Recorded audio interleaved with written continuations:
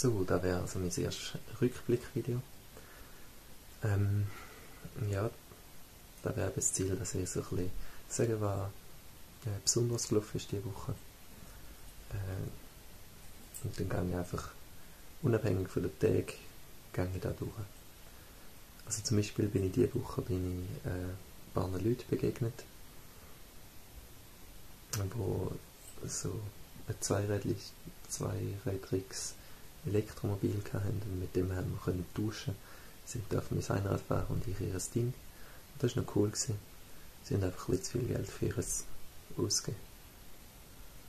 Ja. Da wäre da, der war äh, lässig. Gewesen. Und äh, dann haben wir noch Neuroinformatik gehabt und das war cool. Gewesen.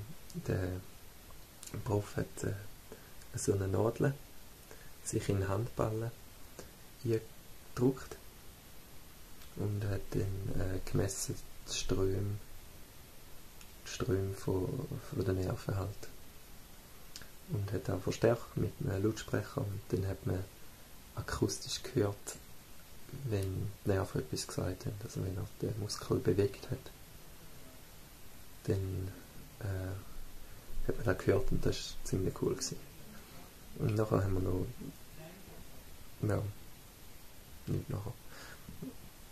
Die Woche habe ich auch noch das Buch ziemlich überarbeitet. Und habe gemerkt, dass ein paar Sachen, die ja, noch unausgereift formuliert sind. Ja, ich habe jetzt, äh, habe jetzt noch ein paar Sachen drum geschrieben, verfeinern. Und äh, es kommt langsam in ein deutsches Niveau an, wo ich, wo ich kann zufrieden werden. Ähm, und dann im Rennen langsam bin ich mit einer halben Stunde am Morgen irgendwie werde ich nicht mehr müde. Und darum renne ich jetzt immer auf den Hügel. Wenn ich auf den Hügel renne, dann werde ich immer müde. Aber ich muss schon ziemlich Gas geben, dass ich mich in einer halben Stunde auspowert bin. Bis jetzt lange es noch. Mal schauen, was ich mache, wenn ich wenn auch nicht mehr lange. Und ja, in den anderen Fächern haben wir noch, zum Beispiel EPC haben wir Linear Programming gehabt. Mit dem, das ist ein Fach, also ein Gebiet, da lernt man das Lösen von, von so Problemen, Maximierungsproblemen. Also man schaut, man gibt eine gewisse Anzahl von Regeln und dann innerhalb von diesen Regeln muss man das Optimum finden. Zum Beispiel eine Regel wäre, zum Beispiel Ernährung wäre so ein typisches lineares Programmieren Problem. Äh, man hat Regeln, also es hat nicht viel mit Programmieren zu tun, es hat einfach, da kommt aus dem Militär, Mil Militär heißt Programmieren, planen, Programm erstellen. Und äh, eben Ernährung wäre so heisst, da wäre mehrere Regeln wie mindestens so und so viel Kalzium, mindestens so und so viel Vitamin, mindestens so viel Kalorien, mindestens so. Und vielleicht auch noch maximal Regeln. Und nachher wird man da haben und man weiss ein paar Nahrungsmittel, die haben so und so viel von dem drin. Und nachher wird man, dass man möglichst günstiger noch in den Regeln ist. Das ist typisch lineares Programmieren Aufgabe. Wir haben gelernt, dass man da effizient kann, äh, effizient kann lösen, die Probleme. Also gelernt.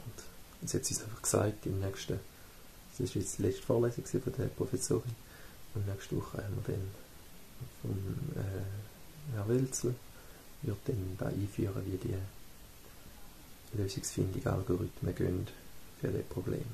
Interessiert mich sehr, weil äh, sehr vieles im Leben kann man auf linear Programming äh, ja, so aufstellen, die Probleme, und dann halt auch lösen dann mit den Algorithmen. Und nachher bei Visual Computing haben wir als letztes letzte Vorlesung von dem Prof gehabt, vom Polyfay. Und der hat dann noch ein bisschen Ausblick gemacht, ein Zeug, wo er gerade forscht. Und das ist irgendwie schon noch cool. Vieles haben wir schon gesehen. Irgendwie Echtzeit 3D animieren, also 3D scannen und ein Modell erstellen und so, den hat er schon am Anfang gezeigt und jetzt nochmal. Warum auch immer. Und äh, ja, das ist schon interessant gewesen, aber eben haben wir schon mal gesehen. Und dann hat er noch eine Echtzeit-Flüssigkeitsanimation gezeigt. Also so Flüssigkeiten, zum Beispiel wenn man Games spielt, Flüssigkeiten sind immer schlecht oder sehen nie aus wie Flüssigkeiten. Sie haben jetzt äh, mit ihren Lernalgorithmen haben sie eine, eine Möglichkeit gefunden, um da können Echtzeit, also wie beim Gamen, äh, berechnen und dann darstellen. Die Oberfläche haben sie noch nicht in Echtzeit, da müssen nachgerendert werden und das braucht eine Zeit. Aber jetzt mal Teile, die Physik für die Teile, da haben sie Echtzeit können simulieren und da ist schon ziemlich beeindruckend, wenn man ein bisschen daraus kommt. AW-Games sind da bis jetzt einfach Flächen mit einer lustig, sich lustig verhaltender Oberfläche. Aber kann nicht wirklich fließen oder so, das sind immer vorgegebene Sachen, die fließen genauso, wie sie es dann dort sagen, aber nicht wird simuliert oder so. Das ist wie in echt. Ja, da wären so die coolen Sachen die Woche gewesen. Jetzt startet das Wochenende. Und mal schauen, was morgen gibt.